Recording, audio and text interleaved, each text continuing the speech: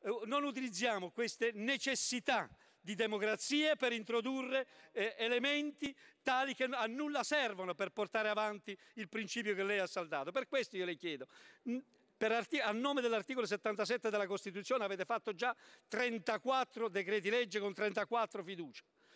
Sta per andare in galera una persona che a me personalmente ha diffamato molte volte, ma che io tutto voglio meno che vederlo in galera. E credo che qualsiasi cittadino italiano ritenga urgente evitare la galera per un reato d'opinione, anche se si chiama Grazie.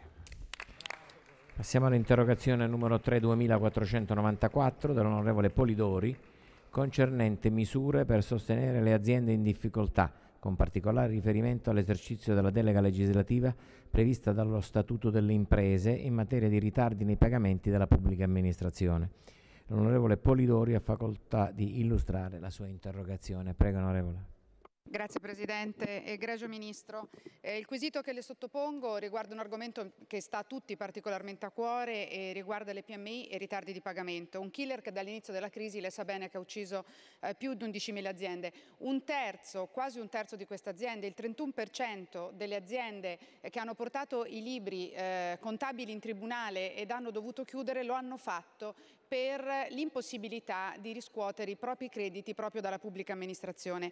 E proprio nel tentativo di arrestare questa piaga che sono a chiederle se il Governo è in grado di rispettare il termine del 15 novembre per l'esercizio della delega eh, previsto dallo Statuto delle imprese che riguarda proprio i ritardi di pagamento da parte della pubblica amministrazione e come il Governo intenda intervenire per far sì che venga recepita finalmente, sottolineo finalmente, la direttiva eh, 2011-7 eh, dell'Unione Europea in materia proprio della lotta contro i ritardi di pagamento nelle transazioni commerciali.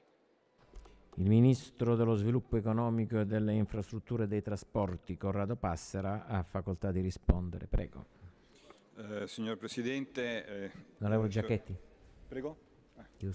Nell'ambito delle iniziative del Governo finalizzate al, al rilancio della competitività del Paese si annoverano un insieme di norme riconducibili a diversi provvedimenti normativi finalizzate ad assicurare liquidità alle imprese attraverso l'esigibilità dei crediti delle stesse nei confronti della pubblica amministrazione e il coinvolgimento del sistema bancario. Non sto qui a ricordare il Fondo Centrale di Garanzia, l'IVA per cassa, parliamo specificatamente su questo che è un tema molto importante che lei solleva. Lo scorso 22 maggio il Consiglio dei Ministri ha approvato un pacchetto di iniziative, peraltro citate dall'onorevole interrogante, che comprende quattro decreti.